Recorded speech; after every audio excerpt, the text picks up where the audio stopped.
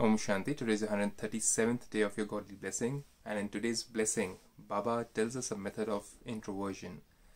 Well, being a child, you are introverted sometimes. Sometimes you grow up and you leave that introversion and you become extroverted. But this is not that introversion or extroversion. God is telling us about how to be in constant remembrance of God and His godly blessings and godly ways and godly guidance and to be introverted and to think about them. So let's understand how does that help us out in our daily life.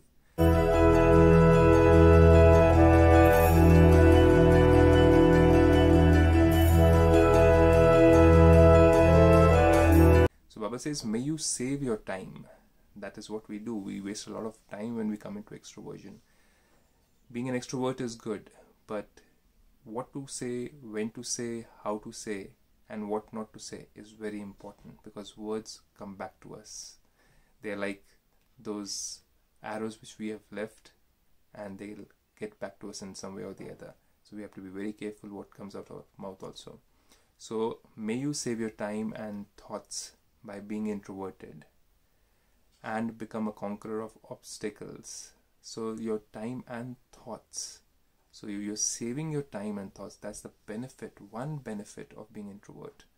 That you create limited, pure, powerful thoughts in introversion. It doesn't mean that you are shy. It doesn't mean that you don't know how to present yourself. It also doesn't mean that you don't have enough knowledge. God is saying you are wise. So you choose your words, you talk less, you talk sense, and you talk sweetly. So let's go into the explanation of this. Baba says, any new powerful invention is created underground, isn't it?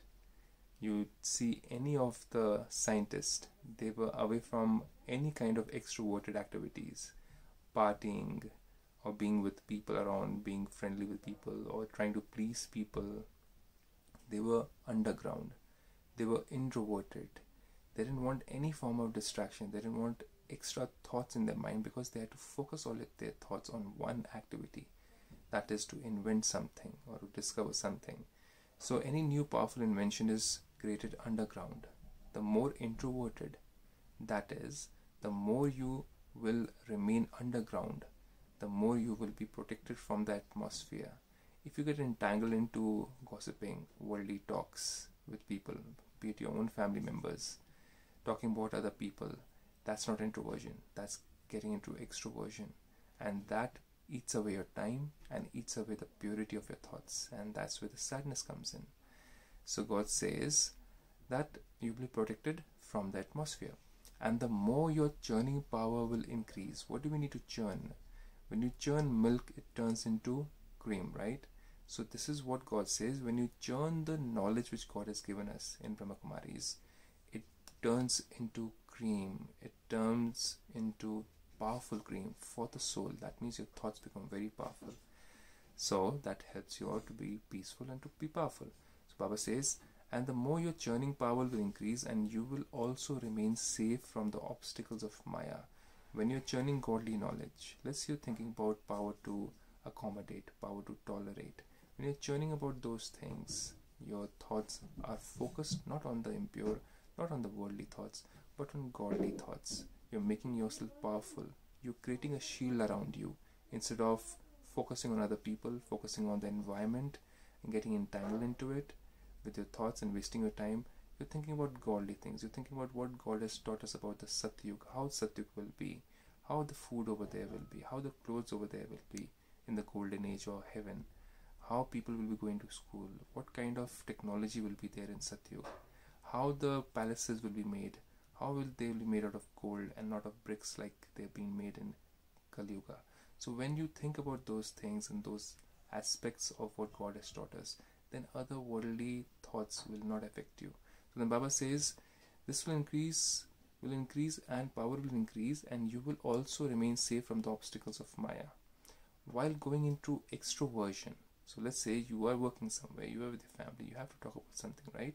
You have to do some teamwork if you're in a job or in your workplace in your business so while going into extroversion how do we do that remain introverted that means you must have seen some people who are in a team they're leaders but they talk less Why? Because they're thinking within.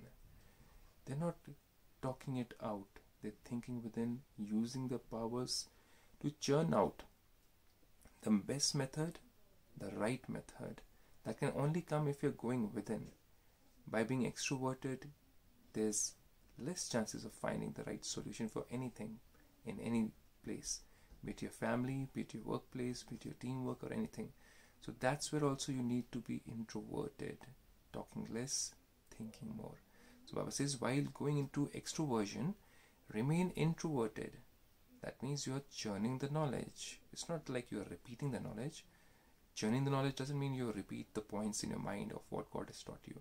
Churning the knowledge means whatsoever you like, whatsoever there is that you have to overcome in your life, be it ego or be it jealousy, be it that you're comparing yourself or competing competing with other people.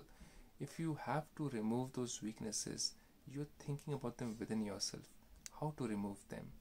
What to do? What God has taught me? That's introversion because you're making yourself as a soul very strong and powerful instead of focusing on others, gossiping about others, thinking about others, contemplating about others, and wasting your thoughts. You're utilizing your time like that scientist in fixing yourself within.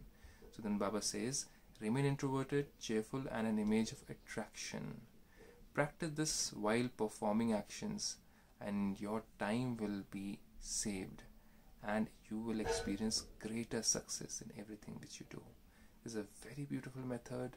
Some more churning is required, some more thought is required. Go into depth about what this Vardhan means. You'll understand what exactly God wants us to do. Go into depth, churn these points which Baba has told us today. So I leave you with this beautiful blessing. Have a blessed day. Stay safe. Stay home. Om Shanti.